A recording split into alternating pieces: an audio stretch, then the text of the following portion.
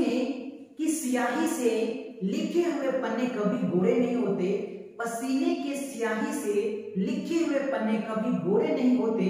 जो करते हैं मेहनत पे मेहनत उनके सपने कभी अधूरे नहीं